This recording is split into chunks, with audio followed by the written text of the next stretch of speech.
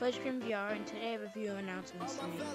The first one is that I finally have my own fan code. It's just my name, Fudge Cream. No VR, just Fudge Cream. I'm actually in it right now.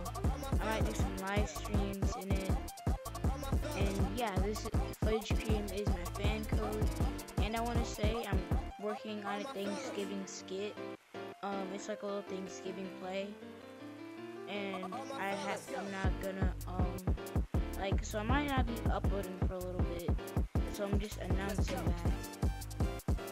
And I'm also doing an upload schedule where I upload every week. So this is my upload of announcements. And yeah guys,